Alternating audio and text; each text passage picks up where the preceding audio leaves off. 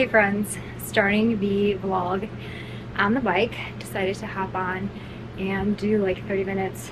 Just catching up on some vlogs. I don't usually like to watch vlogs midday, but right now I have nothing going on. So I figured I'm gonna hop on the bike, get a hopefully zone 2 cardio workout in. Nothing too intense. It's Saturday. We have a fun, hopefully fun day today. He knows you're in zone 2 cardio when you can have a conversation, but like you can still talk, but the other person kind of knows that you're working out. Once you can no longer hold a conversation, you're kind of past zone 2 cardio. So I'm gonna sit here, catch up on some vlogs. I have my water bottle here with my electrolytes, which it cracked. I'm so sad because I've had this for probably two years now, but it cracked. I mean, it's glass. I just have no idea how that happened. So I might look into the Hydro Jug. I have a simple modern tumbler and I love it, but similar to the Stanley, you can't flip it upside down. You can with the simple modern if you take the straw out, but who's gonna be taking the straw out? So I wanna get a Hydro Jug. I got one for my friend for her birthday this year. Was it this year? Yeah, it was this year. And I'm thinking maybe get one for myself because that way you can flip the straw down and actually you know, throw it in the car, your purse, whatever. 20 minutes in, just to get the body moving for today. You might not have the motivation to work out, but when you do, you won't regret it. You won't regret how you feel after you're done working out. It's just, it's a great feeling, in my opinion. Just got out of the shower, and it was not a warm shower by any means. I think our power went out. Yep, our power went out. Oh, is it electric or propane? I'm not sure. I'm trying to turn on the water heater. I'm just gonna keep it off for now but our power went out several times the other day and I guess that includes the water heater so my husband never turned it back on. So I just enjoyed a beautiful cold shower which actually felt really nice because that was pretty hot from the workout. But I'm to do my skincare and apply some body care. I didn't love this scent at first. This is a Kopari Ultra Restore Body Serum but fruity and sweet scents have grown on me so much you guys. So like the other day I, I used to be a die-hard, like my two cents, go-to scents were Dolce & Gabbana like blue and then Chanel, I believe it's Chanel Chance. So I got these two right here from Dossier and I've had them for a while. Oh, I'm almost all out of the the light blue one. These are like dupe versions or affordable versions or inspired by. And I applied this one the other day. This is supposed to be kind of like an inspired by Chanel Chance and I didn't love it this was like my go-to scent if I was like going to a wedding, going out somewhere. I hate to say it, but I don't know. Like sweeter scents. I have this one here. Cosmic by Kylie Jenner. The spray doesn't work. One of my favorites is Stephanie Leda. She had, came out with a fragrance line called Leda and Oris 22. Love how that one smells. And then I just ordered Queens and Monsters from Henry Rose on Sephora. I got a gift card for my birthday. And then I also have their Fog. So that one's like a neutral musky scent. But Queens and Monsters like a warm, spicy, sensual scent. Man, I really cannot get anything out of here. But this smells nice. So I took out my tape and extensions the other day and it felt so nice. Give your scalp a good scrub. I just had a few pieces on the sides here for some volume and it was time to take them out. It was like beyond time, they grew out so much. But I also did my makeup yesterday. I did the video where I was talking about um, like the story of how we immigrated to the United States and all of that. And I was just playing around with makeup. I haven't done like a full beat face in a while. I wear the same amount of products, but those were just full coverage products. And I loved how it looked. The only thing is with full coverage products on my skin, they look great on camera, but like face to face or in bright light, natural light, it's too much. Like you can see, it's just, it doesn't look pretty in my opinion, but it looks great in like pictures and photos. So I'm gonna use my trusty Jane Iredale powders. I know it seems counterintuitive like powders.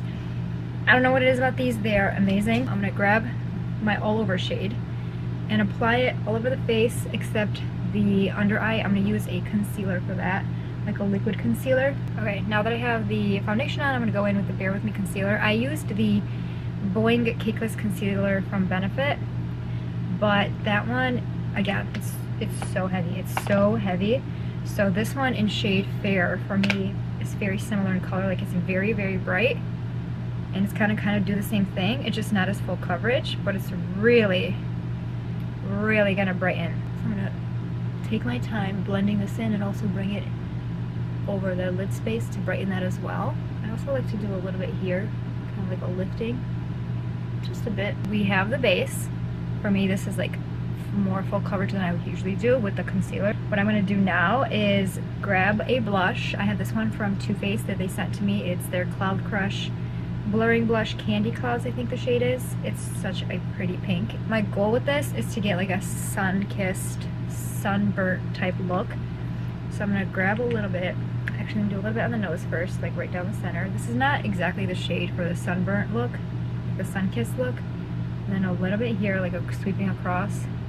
And then I personally like to kind of bring it into my eyeshadow. I know that might be weird, but it's just what I do. Depending on your face shape, you might have different technique, but just kind of like you got that sun-kissed look. I'm gonna start with a little bit because I don't want to overdo it, and then build it up.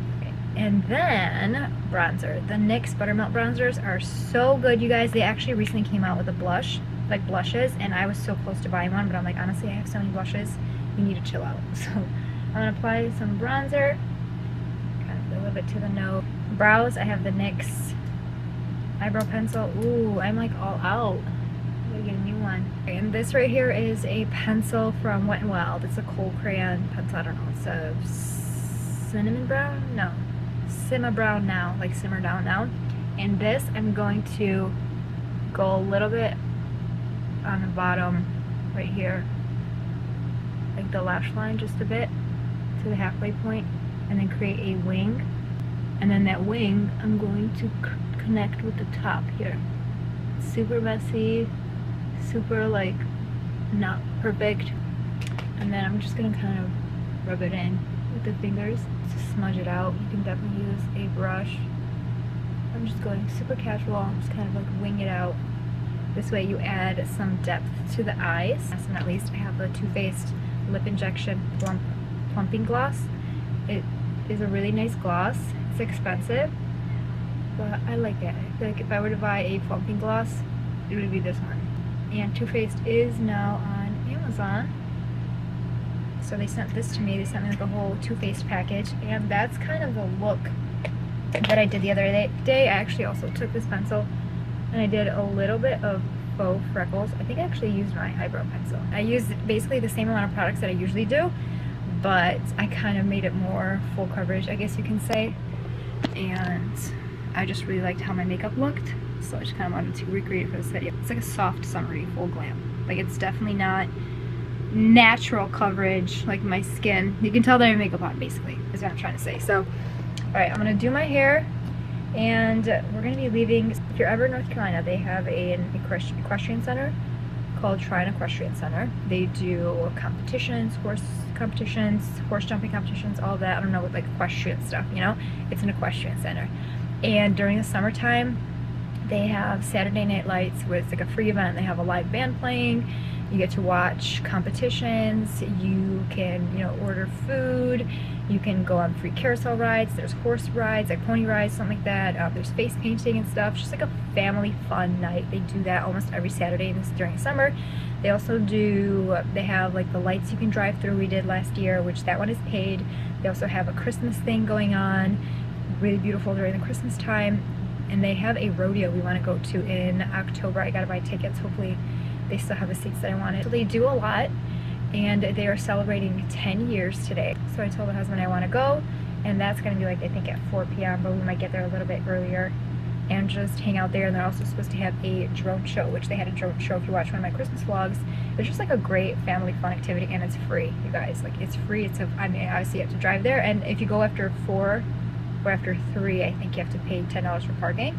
And it's I think it's all donated to a local charity or something like that but yeah, it's just like a great thing to do with the family. If you're ever in North Carolina, I don't know, my daughter loves horses, so that's what we're gonna do. It's already lunchtime, but I was thinking what to make and then Courtney texted me talking about my pancakes that I made on the Blackstone and I was like, ooh, perfect. I'm actually gonna make pancakes for lunch because why not? It's actually gonna be like a, well it is lunch, but we're gonna pretend it's a brunch. So the best pancake recipe in my opinion is this buttermilk recipe here. It's two, two, and two, so it's two cups of flour, two cups of buttermilk, two eggs, and then you have like your salt, your butter, or you can use oil, baking powder, baking soda, and stuff like that, but you do the dry ingredients first and then whisk the eggs in the buttermilk, add in your vanilla, and then pour the wet into the dry. And be careful not to overmix it and then let it sit for like 10 minutes. And they're like the fluffiest, most delicious pancakes ever. In here, I'm gonna do two eggs. Do the eggs first in case there's like some weird junk in there. I mean, I've seen some videos where somebody like was in the last stages of baking, cooking, whatever, and then they cracked the egg into their batter and just ruined the whole thing because it was like some weird nasty stuff in there. Two cups of buttermilk. I probably should have done the flour first before I did the wet in here because I'm gonna need to use this again. Usually I'll add vanilla in here as well, but I don't have vanilla. I do have this homemade brown sugar syrup, so then I'll do just a little bit. Give that a good whisk. Then in here, I'm gonna do two cups of flour. You can use self-rising flour and then you avoid like the baking powder and all that, but I don't have any. We're just using up the flour that we have. So I got the flour, I'm gonna do some salt. I just eyeball it. I don't have baking powder, but you're gonna need both baking powder and baking soda, so I've just been doing it on baking soda. You don't wanna do too much because baking soda can kind of make it taste bitter. And then sugar, I eyeball this as well. Oil, oil. You need, I think, a third cup of oil or butter. I'm gonna eyeball that as well. I literally just eyeball stuff these days. I feel like that's how my mom grew up. Our parents, they cooked, they would always say nahlas. That basically means like eyeball it in, in Russian. So, anytime like, mom, how much of this do you need? Oh, nahlas, nahlas. Сколько ты там кидала? Nahlas. And here we are doing the same exact thing. I'm gonna whisk up the dry ingredients, pour it, the wet into the dry. And again, the key is to not overmix the batter. Let me actually use a spatula. It's the only one that I have. It's like a Christmas one. It's okay. Make sure you're getting the bottom bits as well. And now you just let it sit for like 10 minutes. I'm gonna go start up the Blackstone. Have some yummy, yummy pancakes. We actually had a thunderstorm the other day, so I had to cover it with like the cover cover, so I'm gonna have to take it off.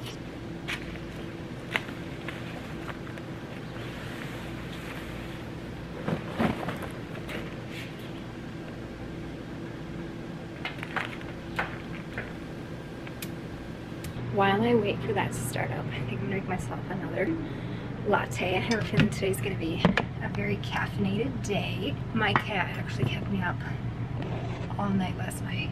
It was like having a newborn, you guys. And I'm like, maybe I am done with three kids. I'm trying to dial in these beans here, which I'm not crazy about them, honestly. They're tasting notes of white grape bergamot and brown sugar. But I don't know, I feel like I really like my floral, uh, not floral, but like my fruity, fruity one so much better. But it has to be like the right kind of fruity.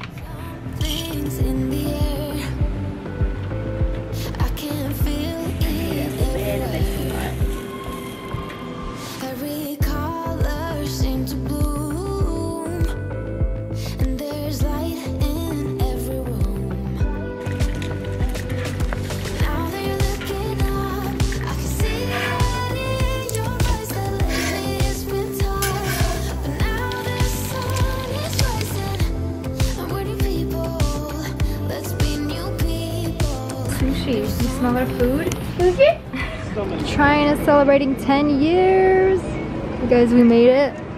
This is where they have the live music, and then my kids have to go on this carousel ride here.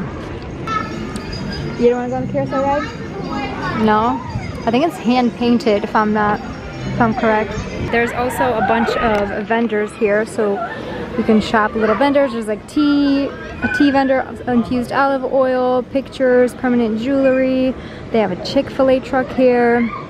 Just like great. They also have a few restaurants as well, and I think that's ice cream or something. I'm not sure. And then my husband said he saw a coffee one, so You know, I, I do less and less outdoor stuff, Yeah. and uh, because it's hard with the, I, the, the setup takes.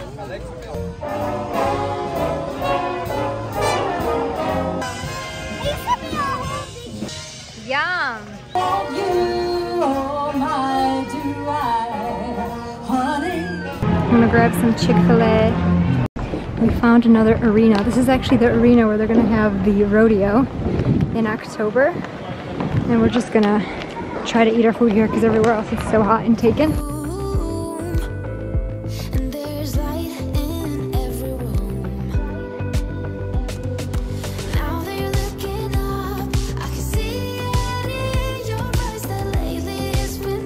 Now, ladies and gentlemen, uh, we're going to ask you in just a moment. Uh, we are a minute away or so from having you ask you to look up skyward as uh, we introduce our skydiving team. Our parachute jumpers here joining us. The Skydive Carolina skydiving team has more than 44,000 combined jumps.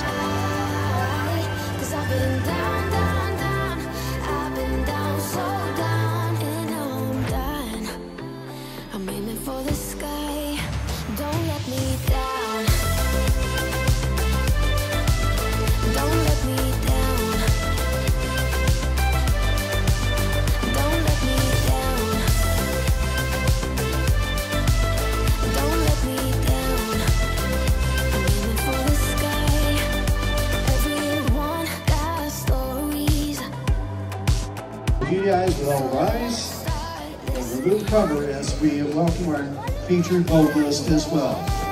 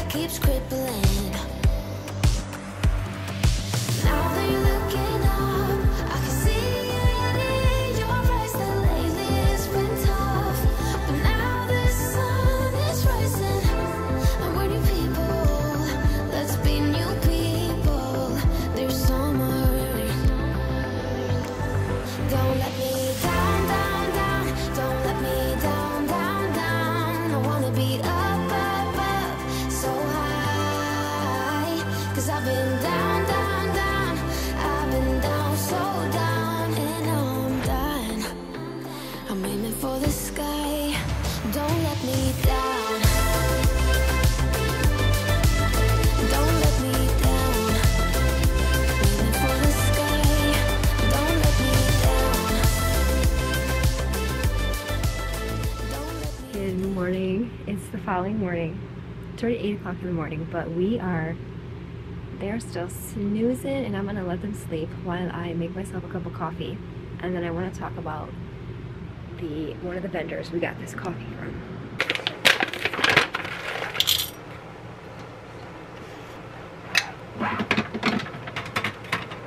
Well, good morning to me. Completely busted my screen. Like it is completely shattered. I tried to record it in the mirror. Show you guys but yeah it's completely busted. I mean everything seems to be working fine. It's just like a completely shattered screen. I always wonder when i when stuff like this happens like what if i what if i never went to go sit outside? What if like whatever. It is what it is. I'll i wonder if i have insurance on this. I'm not sure. Anywho this um, coffee roast is actually really good. It's i would say it's more dark it says it's a medium roast, but it's more dark. It looks dark. It has a little bit of oils on the beans. So I'd say it's more dark. And the tasting notes were caramel, pear, and tangerine. I'm getting more caramel, not so much the fruity ones. So I do like it. And the cool thing is, this was one of the vendors at the equestrian center. He's telling us the story of how he came up with the name. Dusty Rose is a rescue horse. So it's Dusty Rose Coffee Roasters, which I thought was really cool. Part of the proceeds for every sale go to uh, charities to help rescue horses and things like that. I'll leave the website down below if you guys want to check it out. But yesterday was really fun. It was really hot. Really hot. The sun was beaming and scorching. And you're outside. We were outside for like six hours. I think we got there at closer to four, right before four. And we got the time we got home was 11. So we stayed to like 10 something. So we were there for a very long time. But it's a really great thing to do on Saturdays in the summer. If you're free, kind of like a free event. This year, it was celebrating the 10 years, like I said, so they had a, it wasn't a couple, I think it was like three people. They jumped out of an airplane from the sky. I tried to record a lot of it. I just couldn't have audio because they had the national anthem playing, so you, I'm not trying to get flagged, but it was so awesome to see. They like jumped out of the airplane, and then one of them had the American flag, and then they landed. It was just really cool. They had the color guard come out while somebody sang the national anthem. And then the horse jumps began. The winner, I believe, was from Chile, I think. I'm not sure. He, he won last Saturday as well. And then second place was a girl representing Israel, Ashlee Bond, and she's actually going to be in the Olympics in Paris. She's going there next month, I believe. So I thought that was really cool. And then I did like the whole champagne spray at the end. I didn't record as much there because filming in public is it's like a it's an art and a learned skill that I'm still learning to develop. Anywho, thanks for watching. See you guys next time.